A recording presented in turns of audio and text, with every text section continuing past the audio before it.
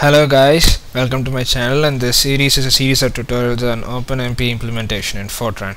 Now in this tutorial we'll be writing our first Hello World program um, Hello World program and from with that I'll be explaining you guys some you know, some of the features of OpenMP some simple features of OpenMP.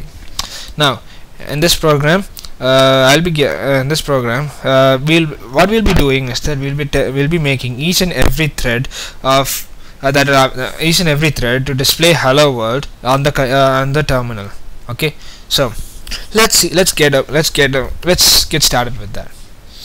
First first what you like to tell is that just gonna just want to give you guys a quick reminder of the openmp command syntaxes syntax.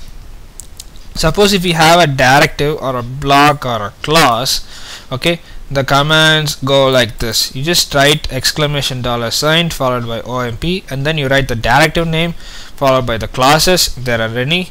And then you you add some uh, add some arguments over here as extras. Okay? And then you have Fortran code in between. And then what you do is that you end the directive using exclamation dollar sign OMP space end. And then th mostly this is sufficient but uh, for good programming practice and for avoiding any ambiguity in the program you it's always uh, recommended you finish the finish it with uh, with the directive name and stuff. You just finish it with the directive name or the clause name whatever it may be. Okay? And then you have the normal comments or the preprocessed directives okay these what you have to do is you just have to start them with exclamation dollar sign.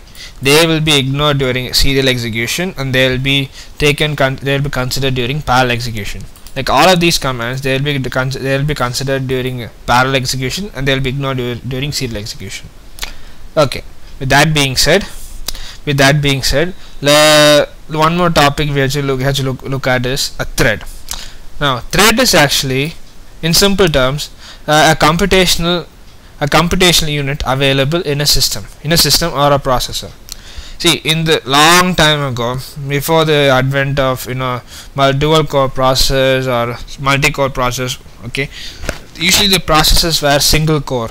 And as a and what does what it implies is that each processor had a single operating core or a single CPU as a consequence they just had only a single operating center okay now with advent of uh, dual core processors quad core processors and stuff what happened is that they're able to have a process such that it has multiple independent operating uh, operating cores.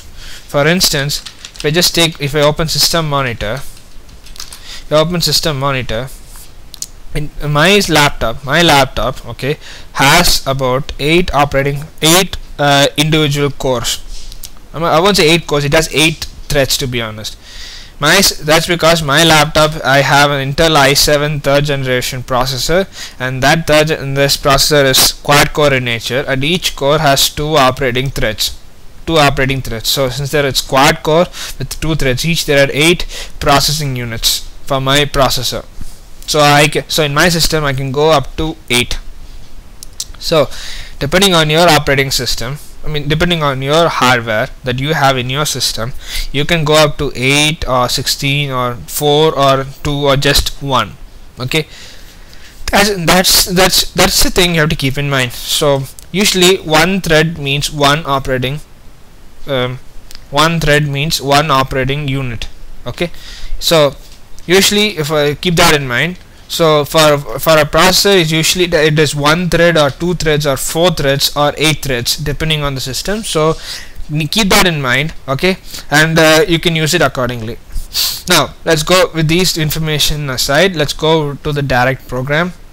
First we need this library omp underscore lib because this has all the definitions for the sub functions subroutines and all the uh, variables that we, that openmp has okay all of them are defined in this uh, module. So this module is necessary. What I'm doing here is I'm setting the number of threads to be 4 okay? And and I'm setting this variable thread num to be 0 this thread num will give us the number of the thread that is act that is actively working. This function call I mean this subroutine called OMP set num threads. This is uh, the this is the line where uh, the we, we get the uh, this is the line where the compiler gets to know that we are going to use parallel programming. When we include this when this command runs in parallel mode what happens is that the compiler knows that uh, compiler knows that uh, this many number of threads in this case four threads will be will be used for running the program. So when the execution runs execution runs four threads will be on four threads will be on standby. Uh, four threads uh, will be on standby for doing the process. Okay? So OMP set num threads. Will call four threads and make it ready here. Just th this will just uh, display hello world display hello world and just uh, says how many threads are being under use simple as that. Now uh, this is the main juicy part of the entire tutorial what I've done here is I've, I've written an OMP parallel block okay? And inside that I have an OMP critical block. And inside that I have two instructions.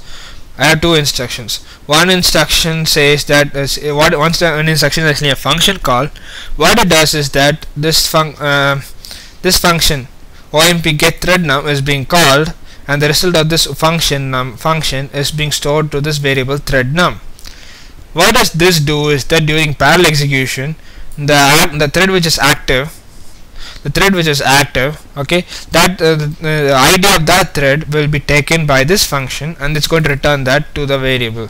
And then that will be printed it will be taken and this is print statement is going to print that. It's going to say hello world from thread number comma thread num. Simple as that. Okay what does this parallel block does is as follows I'll keep it simple now. I'll explain this in much more elaborately in the future tutorial. What does this parallel block does is that what it takes all the statements between the parallel block, okay, and makes each and every active thread to run these statements once. So if you just if you just run this parallel, only these two instructions will be done by a single thread. if you done if you done this in serial, let's say, but if you done this in parallel uh, with this parallel block put in, all these statements will be done by each thread once. So there are two instructions but there will be in practice there will be eight instructions. Okay, because two instructions per thread and there are four threads so for eight instructions in total. And what this critical block does is that in simple terms this critical block uh, forces the threads to run one after the other. Simple as that. It run, tells the forces the threads to run one after the other.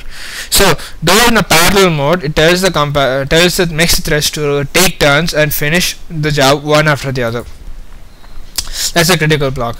Now with that being said, let's compile this program. For that, for compiling this and executing this, I have a small shell script ready. Okay.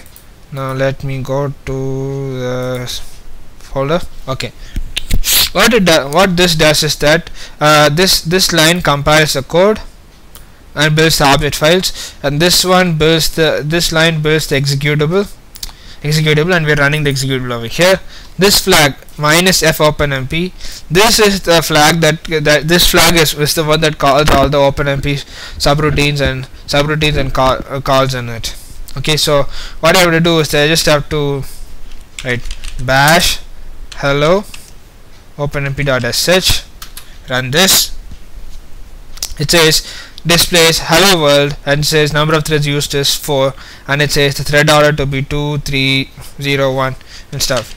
So if I, if I list out all the things that are available I have an executable over here. So if I run this hello.exe if you look at this okay let me just push this up a bit. Look at this the every time you look at it the thread order thread order changes with respect to running and they're printing they're just printing hello world from thread 2 thread number and everything. Now what I'm going to do is that I'm going to you know make this run parallel serially just to give you guys a feel of how this works serially okay? And if I compile this compile and build and ever do this it says number of threads used is 4 and it says hello world from thread 0 that's because a single thread is used during open during a serial execution and that's about it. Okay?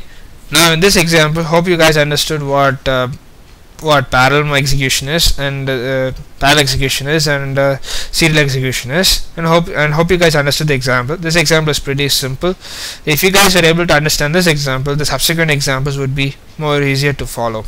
Okay?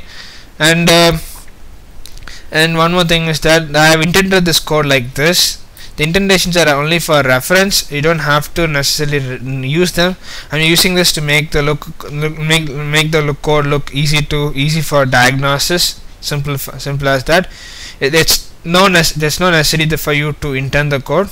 You can write as, as per you want but I recommend you intend it so that it becomes it's easy to spot any issues in the future. Okay uh, that's all I have for you guys in this tutorial. Thank you guys for watching. Now in the next tutorial I'll be explaining you guys about uh, some inter uh, an, an, interesting topic called as race condition. And I will be I'll also be explaining about OpenMP parallel block and OpenMP critical block in a little more detail using the same example. Okay? Thank you guys for watching and I'll see you guys next time